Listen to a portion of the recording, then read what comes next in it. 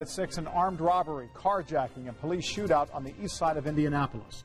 The crime spree ended with one man dead, and the shootout caught on camera. And it all happened early this afternoon with multiple crime scenes in the area of Pendleton Pike and Post Road. Our senior investigative reporter Bob Segall was at those scenes tracking the developments, and he joins us now with exclusive eyewitness video showing the terrifying crime spree.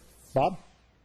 Well, the lone suspect is dead. Amazingly, there are no other deaths or injuries, but still lots of victims following an armed robbery, several crashes, and a gun battle that sent bullets flying through a busy business district.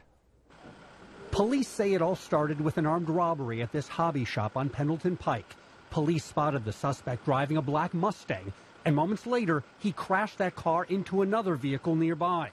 That's when things took a big turn for the worse. The suspect got out of the vehicle and carjacked a second vehicle with victims inside. The police chase continued. You can watch here what happened next. 13 Investigates obtained this surveillance video from a nearby business. It shows the suspect lose control and crash into a median at Post and Pendleton Pike.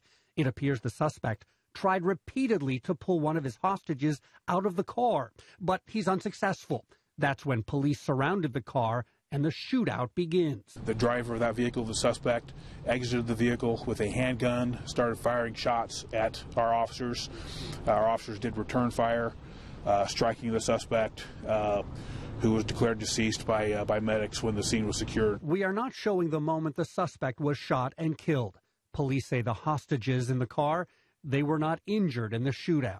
It would seem the officers exercised some some significant discipline when it came to to trying to neutralize the threat, address the, the ongoing threat, and save and save lives. It's not clear just how many bullets were fired by Lawrence police and the suspect, but witnesses say they heard as many as 50 shots. I heard a 9 millimeter and 45.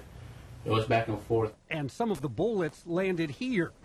One, two, three, four, and five holes. Jose Diaz owns a Mexican restaurant less than 100 yards from where the shootout took place. It's now riddled with bullets. Jose was inside the restaurant with his family and customers when he heard gunshots and shattered glass. Boom, boom. Oh my God. I think it's somebody killed me. I don't know what's going on. I just, very scared. Lawrence police say this investigation is really just beginning. So many different scenes to process and so many people to talk to. Lawrence police and IMPD were both involved in pursuing the suspect today. We're told only Lawrence police fired shots. They've not yet released the name of the suspect who was killed this afternoon. That's one of many details we're still waiting on. We'll update you just as soon as police release more information.